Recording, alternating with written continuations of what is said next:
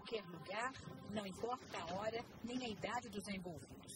A violência se torna cada vez mais presente no nosso dia a dia e jovens e adolescentes são os atores que mais se destacam nos enredos de terror e medo. Os telejornais trazem todos os dias novos relatos. É um caso de reincidência, né? Mais uma vez, esse adolescente de apenas 16 anos de idade é pego novamente pela Polícia Militar cometendo o mesmo crime. Continua e pega a droga e vai. E vira vapor, hã? vira vaporzinho. E a mamãe continua indo lá para tirar.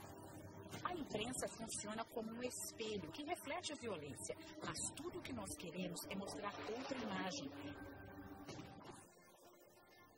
Caminhos alternativos à criminalidade. Esse grupo prova que isso é possível. As notícias envolvendo adolescentes e jovens são analisadas.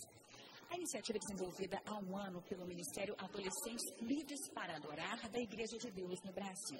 A ideia da Grace e de toda a equipe é reunir crianças e adolescentes e apontar caminhos para fugir da violência. Quem participa sabe o quanto é difícil resistir às tentações e à provocação dos colegas que fizeram as escolhas erradas. Mateus, de 14 anos, encontra força na fé e na esperança de um futuro melhor. Cada esquina, meus amigos muitas vezes me chamam para ir para algum lugar, falam que não, até os outros, meus pais me deixam também, mas às vezes eu muito não quero, que acaba tendo alguma coisa bebida, eles bebem, sim, acaba sendo que seja meio difícil de encarar essa realidade. Mas então eu prefiro muito melhor ficar aqui, meus amigos me ajudam, estudo com vários deles, mantendo esse foco que é o que nós queremos. Jéssica é outro exemplo de coragem. Ela encontra no grupo o apoio para fazer o que sabe ser certo. Como você consegue dizer não a essas tentações lá de fora?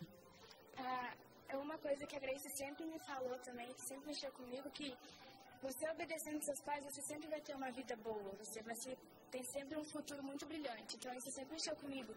E é uma parte muito importante você dizer não às coisas lá de fora, porque é fácil você sair daqui, você chega ali na esquina já tem pessoas. Ah, por que, que você tá nesse grupo? Por que, que você não ficou na rua aqui brincando com a gente? A força que eu encontro, primeiramente, em Deus e uma esperança de um futuro melhor.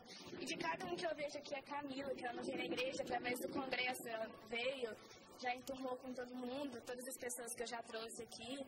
Acho que a esperança de um futuro melhor para todo mundo, é essa força.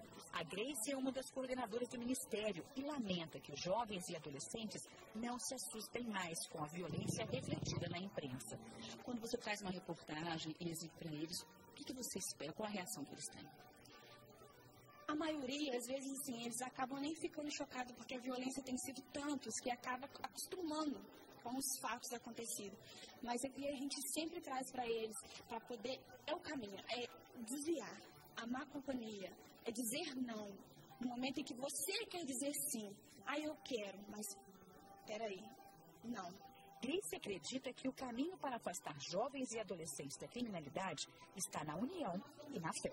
Se não vai agradar a Deus, então é melhor dizer não. Porque agradar a Deus é melhor do que você agradar às vezes um amigo, agradar um colega, porque nós sabemos que a nossa esperança vem dele. E eu acredito tanto no futuro desses como de outros também, porque esse trabalho nosso não é um trabalho fechado só para as pessoas da igreja, mas eles têm a oportunidade de estar trazendo um amigo lá de fora também. Então a gente acredita sim que através deles possamos e através de Deus também alcançar outros adolescentes para trazer uma outra realidade a qual muitos ainda não conhecem.